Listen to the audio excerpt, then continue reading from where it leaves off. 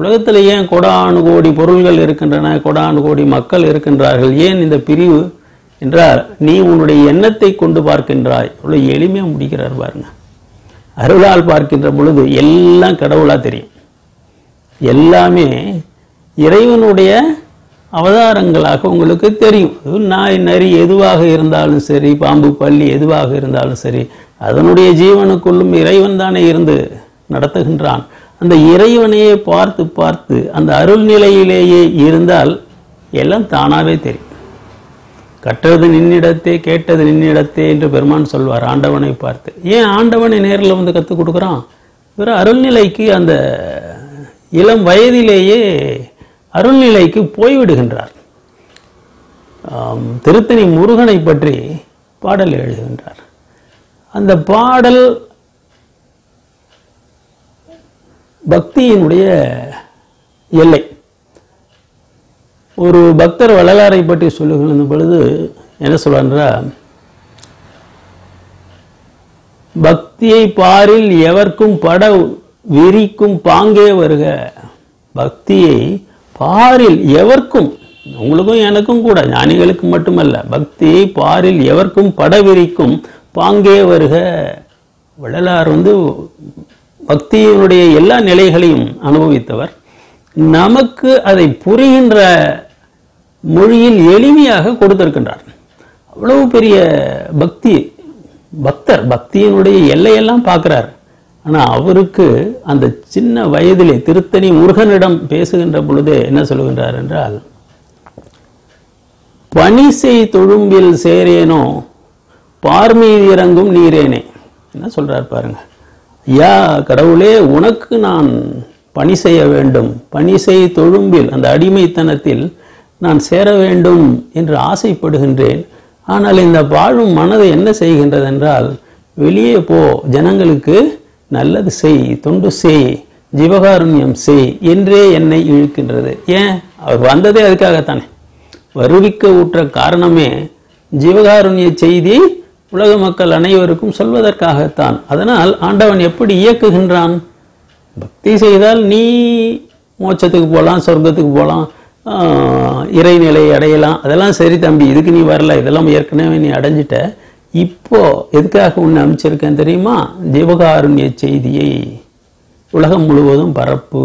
இல்லை என்றால் இந்த உலகம் அழிந்து போகும். இது ஆண்டவனுக்கு தெரியும். அதனால தான் இவரை தேர்ந்தெடுத்து அனுப்புகிறார் அதனால் இவர் என்ன சொல்கிறாரு அவ்வளவு பக்தி நிலையிலையும் இவருக்கு பார்மீதி பார்மீது இறங்கும் நீரேன் பார்மீர்னா உலக மக்கள்? அது போயிறங்க பார்மீது இறங்கும் நீரேனே. எவ்வா என்னுடைய அந்த மனம் அப்படி தன்மை போகின்றது ஜீவகாருண்யத்தில் என்று சொல்லுகின்றார். ஆக இந்த இடத்துல பாருங்க பக்தி செய்வது இன்ட்ராவர்ட்டினுடைய வேலை. ஜீவகாருண்யம் செய்வது எக்ஸ்ட்ராவர்ட்டினுடைய வேலை. புற உலகத்துக்கு போய் தானே நாலு உலக நாலு உயிர்களுக்கு உதவி செய்ய முடியும். ஆனால் இங்கே இரண்டும் ஒன்றாகின்றது. யூங் சொல்கின்ற இந்த முழுமையான ஆளுமை நிலையை இவர் ஆறு வயசுலேயே அடைஞ்சிடுறார். ஆக நீங்க எப்படி பார்த்தீங்கன்னு சொல்லி சொன்னாலும் நானும் மேல்நாட்டு தத்துவவாதிகள் மேல்நாட்டு மனோ தத்துவவாதிகள் மேல்நாட்டு விஞ்ஞானிகள் இப்படி ஏராளமான ஞானிகளை தத்துவ ஞானிகளை விஞ்ஞானிகளை எல்லாம் படித்து பார்த்தேன். அவர்களோடு வள்ளல் பெருமானை ஒப்பிட்டு பார்த்தேன் பேசினேன் எழுதினேன். எப்படி பார்த்தாலும் எல்லா துறைகளிலும் வள்ளலாருக்கு மேல் ஒரு முழுமையான மனிதரை என்னால் காண முடியவில்லை. சிறு வயதிலிருந்து எனக்கு உண்மை எது என்கின்ற ஒரு தேடல். I was I always been a seeker of truth seeker of ட்ரூத்னு சொல்வார்கள். உண்மையை மட்டுமே தேடி செல்பவன் என்று சொல்வார்கள். நான் பல குருமார்களை வணங்கி இருக்கின்றேன் பல தெய்வங்களை வணங்கி இருக்கின்றேன். எதுலேயும் எனக்கு வந்து இது முழுமையான உண்மை என்கின்ற ஒரு கன்விக்ஷன் ஒரு நிம்மதி ஒரு உறுதி எனக்கு கிடைக்கல. வள்ளலாரிடம் வருகின்ற பொழுதுதான் இவர்தான் முழுமையான உண்மையை வெளிப்படுத்துகின்றார் என்கின்ற ஒரு எண்ணம் ஒரு நம்பிக்கை எனக்கு ஏற்பட்டது. நான் அதிலேயே நின்றுட்டேன் அதுக்கு பிறகு என்னுடைய நாற்பத்தைந்தாவது வயதிற்கு மேல் நான் அங்கே இங்கே பார்க்கல. வள்ளல் பெருமான் அவர் சொன்ன அருட்பெருஞ்சோதி இதை தெரிந்து கொண்டால் போதும் என்று இங்கேயே நின்று விட்டேன்.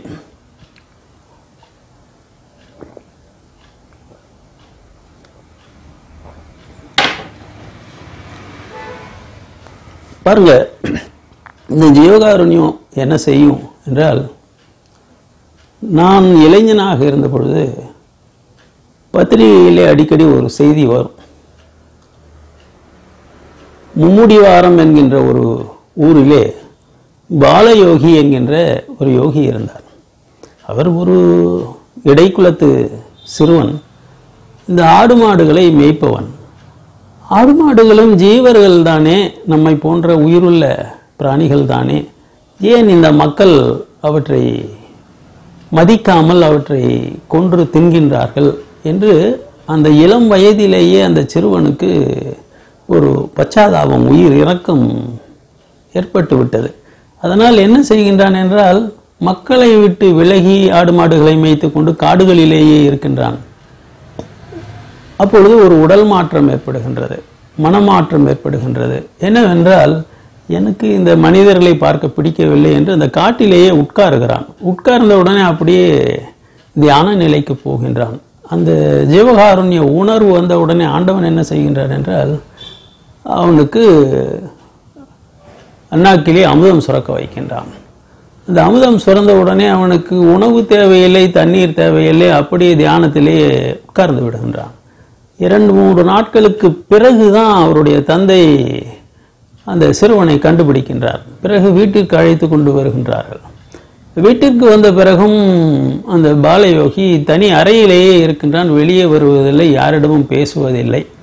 அப்படியே வருடக்கணக்காக இருக்கின்றான்.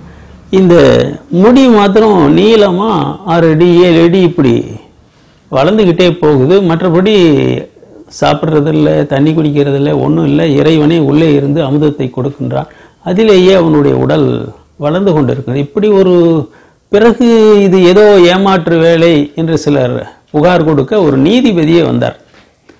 வந்து அதை விசாரித்தார் விசாரிச்சுட்டு இல்லை இது உண்மைதான் இந்த யோகம். இந்த மனிதர் உண்மையான யோகி தான் என்று அவரை ஒரு தனி அறையில் வச்சு வருஷத்துக்கு ஒரு முறை அந்த கதவை திறப்பாங்க. மக்கள் வெளியில் இருந்து தரிசனம் பார்த்து விட்டு போய்விடலாம். இப்படி இருபது முப்பது ஆண்டுகள் இருந்தார். ஆக உங்களுக்கு மனதிலே ஜீவகாருண்யம் முழுமையாக தோன்றுகின்ற பொழுது இறைவன் என்ன கொடுக்கின்றான்? அண்ணாக்கிலே அமுதத்தை சுரக்க கொடுக்கின்றான். அருள் நிலையை கொடுக்கின்றான். அருள் நிலையில் உடம்பு தானா? எங்கள் நம்மாழ்வாருக்கு அப்படிதாங்களாச்சு. அவர் பிறந்தப்போ இருந்து சாப்பிடவும் இல்லை தண்ணி குடிக்கவும் இல்லை பேசவும் இல்லை. பதினாறு வருஷங்கள் அப்படியே அந்த புளிய மர பொந்திலேயே அவருடைய உடல் வளர்கின்ற இப்படியே நிறைய சொல்லாங்கய்யா நிறைய யோகிகள் நம் நாட்டில் நிறைய யோகிகள் ஞானிகள் நம் நாட்டில் மட்டும் இல்லை வெளிநாட்டிலையும் இருக்காங்க. இதை சொல்ல ஆரம்பித்தா இதுக்கே ஒரு மணி நேரம் ஆகும். சரி அது போகட்டுங்கய்யா. மகான் அரவிந்தர் என்ன செய்வார் என்றால் புதுச்சேரிக்கு வந்து அன்னை வந்த பிறகு ஒரு தனிமை அறைக்கு போய் விடுகின்றார். இருபத்தைந்து ஆண்டுகள் அந்த தனிமை அறையில் இருந்து வெளியவே வரல. பன்னிரண்டு மணி நேரம் எழுதுவது எட்டு மணி நேரம் நடப்பது தியானம் செய்வது. இப்படி தன்னுடைய வாழ்க்கை முறையை வகுத்து கொண்டார். அதற்கு எப்படி அவரால் முடிஞ்சது? ஓராண்டு தனிமைச் சிறையில் இருந்தார் என்று சென்ற வகுப்பிலே உங்களுக்கு நான் சொன்னேன். அதனால் அந்த ஏகாந்தம் இனிது என்பதை அவர் உணர்ந்து கொண்டார். உலகத்துடன் தொடர்பு என்பது யாராவது யோகம் செய்தேன் இப்படி ஒரு பிரச்சனை வருகின்றது கடிதம் எழுதினால் கடிதத்திற்கு பதில் போடுவார் அவ்வளோதான் அன்னை மட்டும் அந்த அறைக்கு சென்று உணவை அவருக்கு கொடுத்துவிட்டு வருவார். வேறு யாரும் அவரை பார்க்க அனுமதி இல்லை. இப்படி சில ஞானிகள் இருந்தார்கள். விவேகானந்த சாமியுடைய வாழ்க்கையிலும் இப்படிதான் நடக்குது. குருதேவர் ராமகிருஷ்ணர் மறைந்த பிறகு அவர் இந்தியா முழுவதும் சுற்றி வருகின்றார். அப்பொழுது ஒரு இடத்திலே கேள்விப்படுகின்றார் இங்கே ஒரு யோகி இருக்கின்றார் அவர் ஆறு மாதத்திற்கு ஒரு ஒரு முறைதான் வெளியே வருவார். அதுவரை உள்ளேயே தியானம் செய்து கொண்டிருப்பார் என்று சொல்கின்றார். அவரை பார்க்க வேண்டும் இந்த வித்தையை கற்க வேண்டும் என்று இவர் வாயிற்படியிலேயே காத்து கொண்டிருக்கின்றார். ஆறு மாதங்கள் கழித்து அந்த யோகி வெளியே வருகின்றார். அப்பொழுது அவரை பார்க்கின்றார் நீங்கள் எனக்கு குருவாக வேண்டும் என்று சொல்லுகின்றார். இல்லை உனக்கு ஏற்கனவே ஒரு குரு கிடைத்திருக்கின்றார். அவர் சொல்கின்ற வேலையை நீ செய் அதற்காகத்தான் நீ வந்திருக்கின்றாய் என்று அனுப்பிவிடுகின்றார். இப்படி எந்த ஒரு யோகியாக இருந்தாலும் அவர் ஞானம் அடைவதற்கு வழி இந்த தனிமை தான் சரி இப்போ இதில் வள்ளல் பெருமான் ஆரம்பத்திலே வேதாந்தியாக தன் வாழ்க்கையை தொடங்கினார். அப்போது ஒழிவில் ஒடுக்கம் என்கின்ற நூலை பதிப்பித்தார். ஒழிவில் ஒடுக்கம் என்பது தனிமைதான்.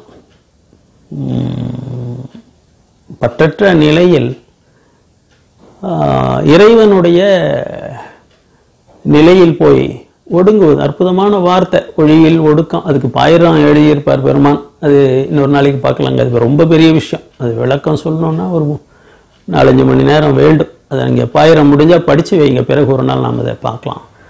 அது வேதாந்தத்தினுடைய முடிவான நிலை. இதை நாராயணகுரு மலையாளத்திலேயே மொழிபெயர்க்கின்றார். சரி போகட்டும். அந்த ஒழிவில் ஒடுக்கத்தை வள்ளல் பெருமான் பதிப்பிக்கின்றார். அதற்கு பாயிரத்திற்கு ஒரு உரையை எழுதுகின்றார். ஆனால் பிற்காலத்தில் ஜீவகாருண்யத்தை அவர் விரிவாக பேச ஆரம்பித்த பொழுது அந்த ஞான சபையிலே ஒரு குருக்களை வேலைக்கு அமர்த்துகின்றார் பெருமான். அவர் தன்னுடைய வீட்டில் திண்ணையில் ஒரு நாள் மாலையில் ஏதோ நூலை வாசித்துக் கொண்டிருக்கின்றார். பெருமான் அந்த பக்கமாக வருகின்றார். என்ன ஞானம் படிக்கிறீர்? என்று கேட்கிறார். சாமி ஒழிவில் ஒடுக்கம் படிக்கிறேன். அவர் சொல்வார் இதை தூக்கி நெருப்பில் போடும்னு சொல்லிட்டு போயிடுவார். யாருக்கும் புரியல. இது என்ன இவர்? இவரே பதிப்பிச்சாரு இவரே இப்போ வேண்டான்னு சொல்றாரு. ஏன் என்றால் அந்த ஒழிவில் ஒடுக்கம் என்பது வேதாந்தம்.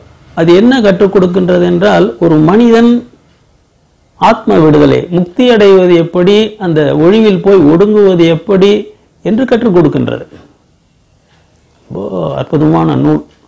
ஆஹ், தெய்வ சபையிலேயே வெளியிட்டிருக்கிறாங்க ஐயா நீங்கள் வாங்கிக்கலாம். ஆனால் அந்த நிலை கடந்து பெருமான் என்ன சொல்லுகின்றார் என்றால் ஒளியில் சென்று ஒடுங்குவதல்ல திரும்ப வர வேண்டும். அந்த ஆத்ம சக்தியுடன் இறைச்சக்தியுடன் திரும்ப வந்து இந்த உலகத்தில் இருக்கின்ற உயிர்களை காப்பாற்ற வேண்டும். அவர்கள் அவர்களுடைய முன்னேற்றத்திற்காக நாம் பாடுபட வேண்டும். இக உலகில் பரவுலகில் அவர்களுக்கு என்னவெல்லாம் தேவையோ அதை நாம் செய்ய வேண்டும். நான் அடிக்கடி சொல்வேன் ஏழு வருஷம் படித்த ஒரு டாக்டருக்கு தெரியும் தன்னை கிருமிகளிடமிருந்து காப்பாற்றிக் கொள்வது எப்படி என்று. ஆனால் அவருடைய வேலை அதல்ல. தன்னை காப்பாற்றிக்கிறதுக்காக பத்து லட்சம் செலவு பண்ணி அரசாங்கம் அவரை டாக்டரை படிக்க வைக்குதுங்கய்யா? இல்லை. நோயாளிகளை குணப்படுத்தணும். ஆக ஒரு யோ ஒரு ஞானி என்பவன் ஒரு டாக்டர் ஒரு ஸ்பிரிச்சுவல் டாக்டர் அவர் என்ன செய்ய வேண்டும்? வெளியிலே வந்து நமக்கெல்லாம் நோய் தாங்களே. மனநோய் தானே. மனநோய் தானே? ஆணவம் கண்மம் மாயை என்கின்ற மூன்று பெரும் பிணிகள் நம்மளை பீடித்திருக்கின்றன. இதிலிருந்து எப்படி வெளியில் வர்றதுன்னு நமக்கு தெரியல. அது இந்த நோய்களுக்கு மருந்து கொடுப்பவர் தான் வள்ளலாரை போன்ற டாக்டர்கள். ஸ்பிரிச்சுவல் டாக்டர் ஆன்ம மருத்துவர்கள். அந்த வேலைக்கு நீ வா. இந்த உலகத்துக்கு வா. இந்த உலகம் போர்களால் அழிஞ்சு போயிடுமோ? அதுவும் இப்போ அணுகுண்டெல்லாம் வந்துடுச்சு அழிஞ்சு போயிடும். இதுக்கு மாற்று மருந்து ஒவ்வொருவருடைய மனதிலும் தயவு ஏற்பட வேண்டும். அந்த தயவை நீ கற்றுக்கொடு என்கின்ற இடத்திற்கு ஆண்டவன் வெள்ளாரிடம் சொல்லி அனுப்புகின்றான் வருவிக்க வருகின்றார் ஆகவே அதனால் சொல்றார் ஒடுக்கத்துல நிற்காத வெளியில வா என்று வள்ளல் பெருமான் மாற்றுகின்றார். அதனால தான் சுத்த வேதாந்த மௌனமோ மௌனம் என்பதே வேதாந்தத்தினுடைய எல்லை தாங்கய்யா ஆனால் அதை எப்படி மாத்துறார்? சுத்த வேதாந்த மௌனமோ? சுத்தம் என்பது அருள்நிலை தயவு. உலகத்திலேயே அதி சுத்தமான சுத்தத்திலும் சுத்தமான ஒரு பொருள் எதுங்க? அருள் தான் அதனால தான் கடவுளையே அருட்பெருஞ்சோதி என்கின்றார். அருளுக்கு மேலே ஒரு சுத்தமான தூய்மையான ஒரு பொருள் இல்லை. அதனால தான் சுத்த வேதாந்த மௌனமோ என்பார். சுத்த சித்தாந்த ராஜ்யமோ. சித்தாந்தத்தையும் தூய்மைப்படுத்துகின்றார். கலாந்தத்தையும் தூய்மைப்படுத்துகின்றார். தூய கலாந்தம் என்பார். ஆக எல்லாவற்றுக்கும் முன்னால அடைமொழியாக சுத்தம் என்று போடுவார் தூய்மை என்று போடுவார். இல்லையா? சூதறிந்தீர் வாதறிந்தீர் தூய்மை அறிந்திலீரே என்பார். சூதுவாது என்பது சூது வந்து பாதரசம் வாதம் என்பது தங்கம். பாதரசத்தை தங்கமாக்குறது சித்தர்கள் நெறி. அதை ஏற்றுக்கொள்ளுகின்றார் ஆரம்பத்திலேயே முதல் புருஷார்த்தமே என்னங்க ஏமசித்தி தான். அதை ஏத்துக்கிறார். ஆனால் அதோடு நிற்காத அடுத்தது எங்க வா? தூய்மைக்கு வா. தூய்மை என்பது என்ன? அருள்நிலை. அந்த அருள்நிலைக்கு நீ வருகின்ற பொழுது பாதரசத்தை தங்கமாக்குறது இல்லை நீ பார்த்தா தங்கமாகும். பெருமான் அப்படிதாங்களே ஒரு அண்டா நிறைய தண்ணீர் இருக்கின்றது அதை கண்ணால் பார்க்கின்றார் அது. தங்கமாக மாறுகின்றது. அதை வெட்டி எடுத்துக்கொண்டு மும்பைக்கு போய் எழுபத்தையாயிரம் ரூபாய்க்கு அதை விற்று அந்த படத்துல கட்டப்பட்டது தாங்களே ஞானசபை. அதே மாதிரி அந்த கலெக்டர் விசாரிக்க வர்றார் அந்த வெள்ளக்கார துவரை அவர் அப்பெல்லாம் அந்த காலத்துல. அவருடைய கை தடி பெரம்ப அதை தொடர்றாரு அது அப்படியே தங்கமாகுது. ஸ்பர்ஷ தீட்சை நயன தீட்சைன்னு சொல்லுவாங்க. இது போல ஒரு பதினாலு விதமான ரசவாதத்தை அவர் பெருமான் நமக்கு சொல்கிறார் அது போட்டும் அது ஏற்கனவே பேசியிருக்கோம். ஆக இந்த இடத்துல என்ன சொல்ல வரேன்னா அந்த சுத்த வேதாந்த மௌனத்துக்கு வரணும். ஆக சுத்த சன்மார்க்கத்திலே மௌனத்துக்கு வந்துட்டு வெளியில போய் மற்றவர்களுக்கு தொண்டு செய்யணும். இது என்ன சொல்வார்கள் என்றால் ஐயா யோகத்துல பதஞ்சலி யோகம் உங்களுக்கு தெரியும் அஷ்டாங்க யோகம். அதுல இயமம் நியமம் ஆசனம் பிராணாயாமம் இந்த நான்கும் வந்து உடலை பற்றி புற உலகத்தை பற்றி மனதை பற்றி வரும். இதில் உடம்புல முப்பத்தாறு தத்துவங்கள் இருக்குது மனசில் நான்கு பிரிவுகள் இருக்குது உலகத்தில் இருக்கிற எல்லா மாயையும் கொடானு கோடி பொருள்களும் நம்ம மனசில் இருக்குது மனசுன்றது என்னங்கய்யா புற உலகத்தினுடைய ஃபோட்டோ ஆல்பம் தானே. சரி அப்போது பல என்பது ஒருமைக்கு வர வேண்டும். பல என்பது ஒன்றுக்கு வர வேண்டும். அந்த ஒன்று பூஜ்ஜியமாக வேண்டும். இவ்வளோதான் வாய்ப்பாடு. இது பிரத்யாகாரம்னு சொல்வார்கள். மனதை உள்ளே இழுப்பது புலனுணர்வுகளை உள்ளே இழுப்பது இதுக்கு பேர் பிரத்யாகாரம் என்று அவர்கள் சொல்வார்கள். இந்த பல என்கின்ற பொருள்கள் உள்ளே இழுக்கப்பட்டு ஒன்றாக மாறினால் தியானம். ஒன்றாக மாறினால் தியானம். ஒரே பொருளிலேயே எத்தனை நாட்கள் ஆனாலும் உங்களால் மனதை நிறுத்த முடியும் என்றால் தியானம் சித்தியாகிவிட்டது என்ற பொருள். இறைவனை பற்றி மட்டுமே நினைத்துக் கொண்டிருக்கிறேன் வேண்டும். பொருள் சமாதியில் என்ன ஆகுதுங்க ஆதி என்கின்ற இறைவனுடன் நீங்கள் சமமாகின்றீர்கள். அப்பொழுது அங்கே கடவுள் இல்லை நீங்கள் இல்லை வெட்டவெளி மட்டும்தான் இருக்கும். ஆக பல என்பது ஒன்றாகின்றது. ஒன்று பூஜ்யமாகின்றது. வெட்ட வெளியாக மாறுகின்றது. புத்தர் அவர் நிர்வாணன்றார். அது வார்த்தை வித்தியாசம் அவ்வளவுதான். மற்றபடி பெரிய வேறுபாடு எதுவும் இல்லை. ஆக இந்த இடத்துல பார்த்தீங்கன்னா பெருமான் சொல்வது என்னன்னா இந்த சமாதியை கடந்து சகஜ சமாதி என்பார் பெருமான் சமாதி நிலையை ஏத்துக்கல. தூக்கம் சமாதி மரணம் மூன்றையும் சுத்த சன்மார்க்கம் ஏற்பதில்லை. சகஜ சமாதிக்கு வா. அந்த சமாதி நிலையிலேயே உன்னுடைய மனம் இருக்கட்டும். ஆனால் நீ மற்ற உயிர்களுக்கு வெளியே வந்து தொண்டு செய். ஜீவகாரணியம் செய் என்பார். இது சாத்தியமா என்றால் சாத்தியம்தாங்கய்யா. எப்படி நான் சொல்கிறேன்னா பன்னெண்டு வருஷம் சமாதியில் இருந்தார்.